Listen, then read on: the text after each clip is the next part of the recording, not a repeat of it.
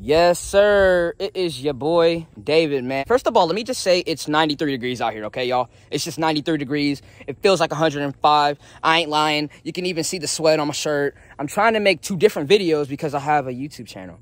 Yeah. But I got to make a video for the family. That way, you know, not all my business is out there to every single body. But basically, I got the job today at Buffalo Wild Wings. Right now, I'll show y'all some of the shirts. It's two different shirts, all right? You got the big boy logo right there. Yes, sir. That's upside down, but you can still see the buffalo on it, you know. This is the one that y'all are probably used to seeing if you have walked into a Buffalo Wild Wings spot. It's like a big, big yellow logo on everybody's chest, really. But I didn't want that, so I told my boy, give me another, well, not my boy, my general manager, let me say it like that. Um, I told him, can I get another shirt, you know? so, uh, yeah, let me show you all this real quick.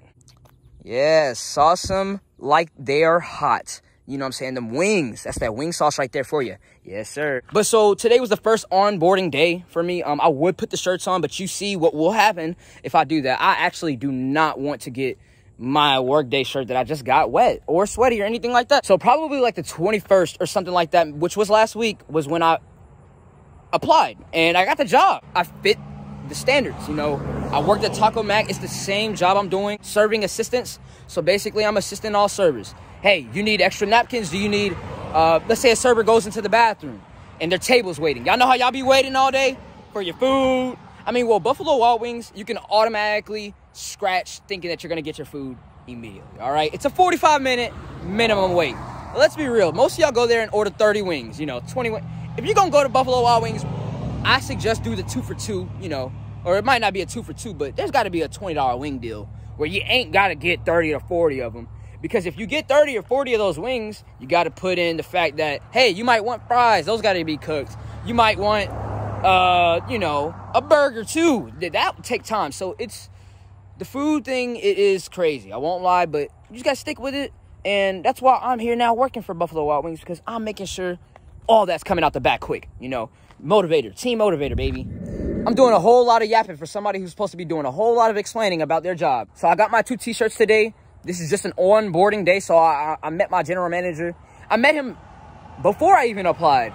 Uh, I had went up there not even a couple days after I got fired from Taco Mac, and I was like, "Hey man, do you think y'all have a serving assistants here?" Because I didn't know if any other restaurant job had it because my first restaurant job was Taco Mac. So I asked him, and I had a few, you know, shots before. So I was just asking him on a very cool level because I knew that he was the general manager there, and if I was gonna be getting a job, I did not want to be out here drinking crazy, talking to him. So I respectfully asked him, you know, like, do y'all have this? And they did. So I went and applied. Like, no, I didn't even apply immediately that night. I took like a whole week and a half after he told me that to go ahead and apply. But it's like that process was like two weeks, you know, these past two weeks. So it was nothing long at all. Uh, today, basically, I went in there onboarding. I, I eventually just had to, you know, give him my ID, give him my social, things like that, just to get into the system, the computer system, you know, setting up direct deposit, you know, onboarding stuff, basically. I do have training. I have to have training. Unfortunately, I don't care about training. And I, I already know after this first day, that general manager knows good and well David Green does not care about no training because I've already done this position. But I'm going to play by the cards and play my cards right instead of being a know-it-all, I'm just gonna listen, you know, tell them, hey, hey, yeah, I understand, yeah, all that extra. And then I'm gonna go ahead and start working next week. Today's the 26th. So July 26th for the next the rest of this week, Monday, Tuesday, Thursday, Friday, I'm doing training. All right. So also, you know, with the hours of this job, I'm really gonna be able to pick my own hours, kind of how I did before. It's also the fact that they're not gonna be open until 2 a.m. in the morning. You know, as soon as the pandemic happened, it was more so like there was not going to be any of that. You know, it's 11 to 11, 11 a.m. to 11 p.m. Now, I won't be working every single day 11 to 11, but there will be Friday nights, Saturday nights where I already know I'm going to pull that double shift off. Instead of working like 11 to 4, I'm going to work 11 to 11. Or instead of working from 4 to 11, I'm going to work 11 to 11, if you understand. This video for Facebook that I'm putting out, I already know it's kind of all over the place if you're listening but you get an idea. It's a restaurant job, and it's great for me because I'm getting paid a lot better. Let me just go ahead and talk about that because it is extraordinarily insane to me that I was finagled, bamboozled, or really even just like finessed Like, because when I worked at Taco Mac, at first I was a server. I was not just a server assistant. I was a server. But due to my needs and all this extra stuff that I like to do outside of jobs, I never could focus on really being a good server. I'm just gonna be honest, you know. So it's more so the fact that as a server, I was getting paid very little hourly because I was bringing home tips, tips every single night. So they would only pay you, and this is at a lot of restaurant jobs. This is mostly at every restaurant job. You're not going to be getting paid great hourly because you take home tips, which are good tips. What they would do is the pay is two dollars. It's two dollars, it's like two dollars and forty-five cents an hour for being a server. On top of tips, you take home tips. I mean, you got to think about the tips though. It's not just about the hourly. You know, you're taking home like 11 people at a table, and somebody might drop a hundred dollar tip. You know what I'm saying? And as long as you don't have to split that with anyone, any other servers that might have helped throughout the table, you're taking home a hundred dollars. So you know, some people are not making a hundred dollars in one night. You're making that off of one table some nights. You know, so you got to consider the fact that it's two dollars an hour plus all those extra tips, which is not unfair pay. But for my case, let me go ahead and explain it. For my case, it was really bad because it's like, man, I was getting paid $2 an hour as a server, but then I switched. I switched over to become a server assistant, which means I felt in my own lane that I should have been getting paid a lot more for the job task that I had to do. Taco Mac in Hiram, Georgia was not any type of slow business, all right? I was there when we first opened August the 5th. I mean, uh, April the 5th. So it's more so like, you know what I'm saying, ongoing. Due to all that fast-paced traffic, it's like, man, I was not tripping off of that $2, but it had got to a point where it's like, am I really supposed to be getting paid $2 for all this work I'm doing, working 50 hours a week, or are they screwing me over? And I never really understood that until today. I started working in February for Taco Mac, quit that job, July the 6th, and I'm just now finding out July the 26th that I was supposed to be getting paid totally different. That's insane. Let me talk to you about this.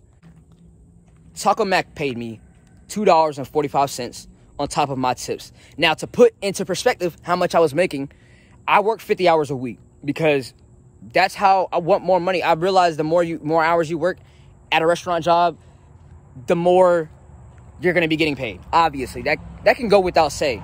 But so I'm taking home $700 a week. $700 because I was getting paid a percentage as well as hourly. So as a server, you're not getting paid a percentage of anything because you're getting tips. But for me, I was getting hourly and a percentage of business. So whatever the business made for the day, I would get a small percentage of that. So how it worked was it was 2.5% of sales, but I would only get 1% of that. 1.5% would go to bartenders. So there's your, what, 2.5 right there? If that makes sense. If it's not 2.5, I'm sorry, but I got paid like 1% and the bar would get paid 1.5. So right now, I'm getting that 1.5%. I'm getting that 1% still. I'm getting paid now five more dollars extra than what I have got paid at Taco Mac. Because that's how I was supposed to, I was supposed to be getting paid that from the jump if I was a server assistant, which I had originally switched over to after maybe about one month of working as a server. So there you go. Five more dollars an hour than two. There's seven dollars an hour. Minimum wage is what I'm getting paid right now, to be exact. I'm getting paid minimum wage on top of my business percentage sales, which is 1%. So whatever Buffalo Wild Wings makes for the day, I get a percent of that, which is extraordinarily good. And I get to take it home. I get to take it home that night. At Taco Mac, they would hold all those tips for that night and they would give it to me every Wednesday. So it was weekly, you know. Um, you know, I would get that weekly and then I would get my hourly check every other week.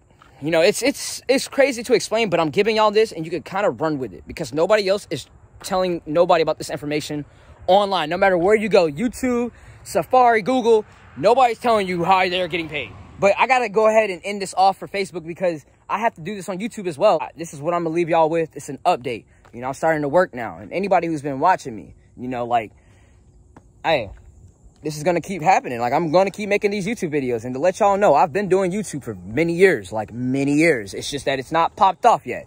But it doesn't matter because you see I have that personality. And with a good personality, good things come. It just takes time, and I already am someone who knows this. So, thank y'all for watching this, you know, Buffalo Wild Wings orientation video. Hopefully, it wasn't too long. I'm gonna try to edit it. Um, if I can't edit it, I'm just gonna throw it all at y'all anyways, because you're gonna watch, because you love me. This is probably family watching me anyways right now. So, I love y'all, and I'll give y'all another update some other time about Buffalo Wild Wings. But to sum up what I had gone on today, basically the rest of this week from July 26th on Monday, I'm gonna be working uh, training, doing my training. You know, whatever they have me doing, I already know how to do my job, so it's not much that I could be told that's gonna be new. But I obviously have an open ear for learning. You know, so that's what's gonna be going on, and I love y'all. I appreciate y'all for watching, man. I, I love y'all.